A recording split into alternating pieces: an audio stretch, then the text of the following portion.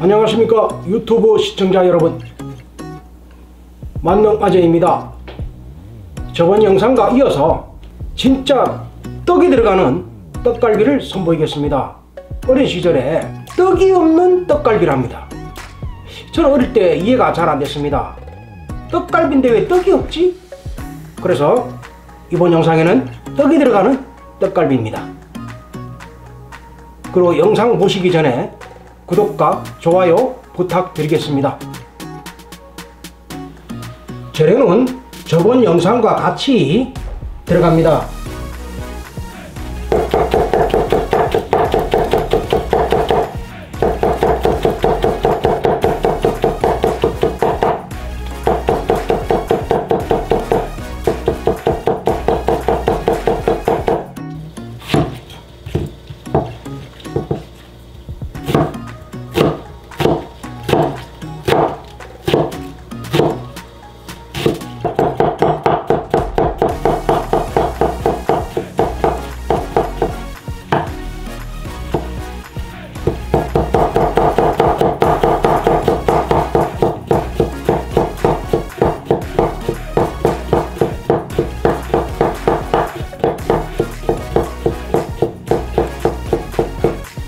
홍고추 두 개 들어갑니다. 홍고추는요, 씨를 빼셔야 합니다. 저번 영상도 똑같이요.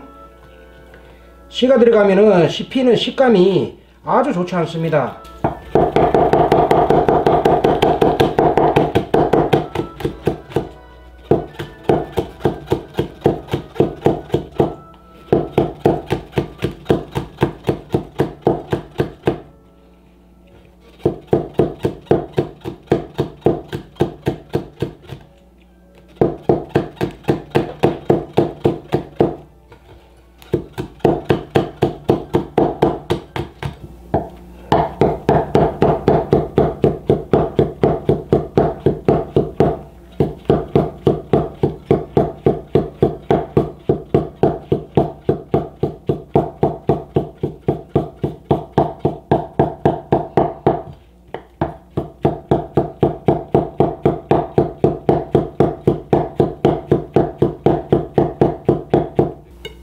야채는 이렇게 준비가 되었습니다.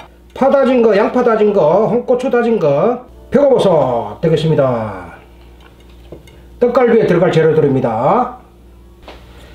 자, 이렇게 재료가 완성됐습니다. 후추 티스푼으로 하나입니다.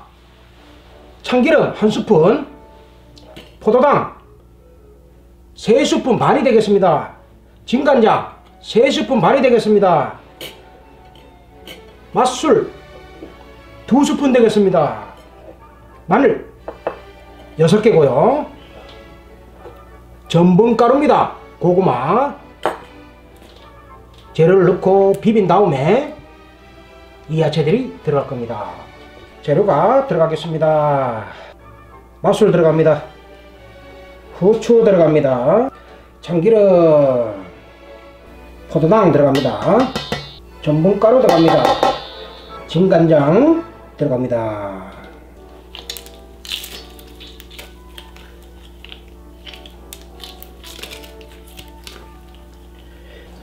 자 이제 잘 섞을 수 있도록 먼저 주물러 줍니다. 들어가기 전에요.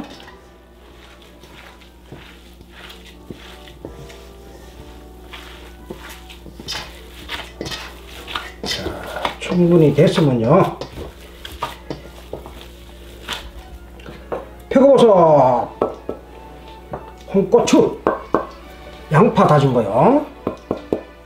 흰 부분만 쓰는 겁니다 흰 부분. 파란 부분을 쓰게 되면은 맛이 씹히는 맛이 아주 안 좋습니다. 야채부터 이렇게 같이 버물러 주시고요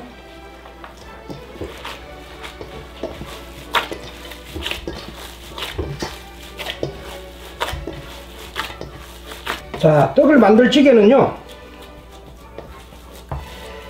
이를 잡으셔 가지고 비빈 다음에 때려 주십시오.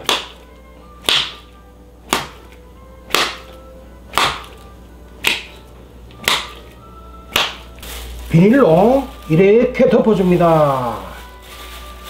이렇게 덮으셔가지고요. 꾹꾹 눌러가지고요.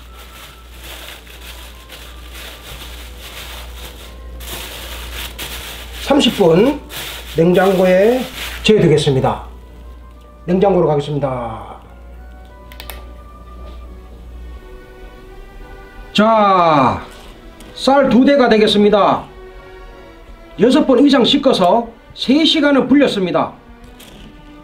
떡갈비를 만들라 그러면 떡이 있어야 되겠죠? 자, 방앗간으로 가서 떡으로 한번 만들어 보겠습니다. 자, 방앗간에서 떡을 만들어 왔습니다.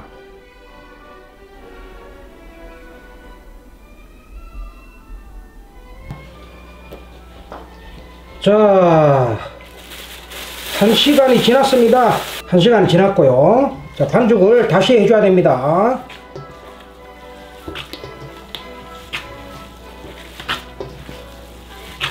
찰질수록 후라이팬에서 떨어지지 않습니다. 많이 묻혀 주십시오. 자, 지난번 영상과 마찬가지로 이래 돌려주십시오. 이래 두드려줘야 찰집니다. 떡입니다. 떡입니다. 자, 이렇게 싸주시는 겁니다. 떡갈비용은 제가 방앗간에서 이렇게 만들었습니다. 떡볶이 굵기만큼 뽑았습니다.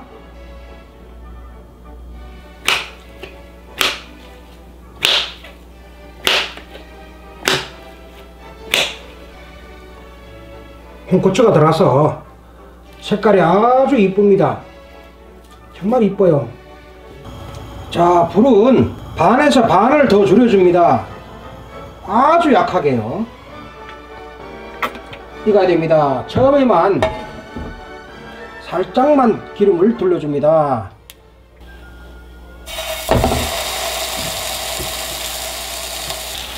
약 익는 시간은요, 어, 30초. 해서 40초 걸립니다.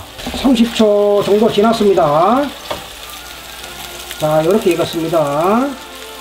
약한 불로 시간을 두어서 세 번만 뒤집어 주시면 되겠습니다. 어, 원래는 숯불로 구워야 됩니다. 숯불로 구워야 되는데 참 이 빌어먹을 이 코로나 때문에 바깥에를 나갈 수가 없어서 할 수 없이 프라판에 이렇게 굽게 되었습니다.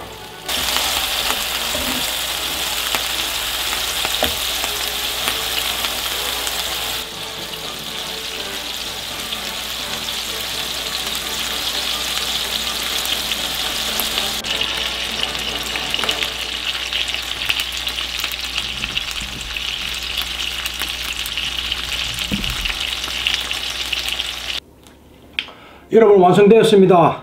진짜 떡갈비. 진짜 떡갈비입니다. 제가 아이디어를 하나 알려드리겠습니다.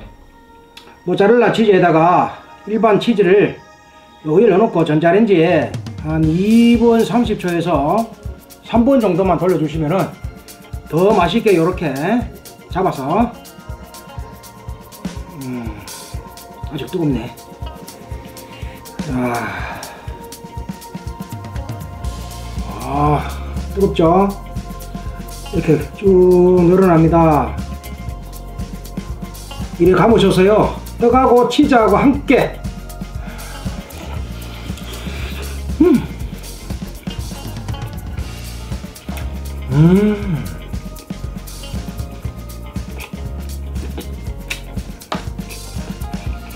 음. 맛이 아주 담백하고요. 상큼하고 야채도 씹히고 달지 않습니다. 꼭 이렇게 영상을 잘 보시고 만들어 드십시오. 그러면 여러분의 가정에 행복이 넘칠 겁니다. 야 남녀노소 할 거 없이 누구나 함께 먹을 수 있는 떡갈비입니다.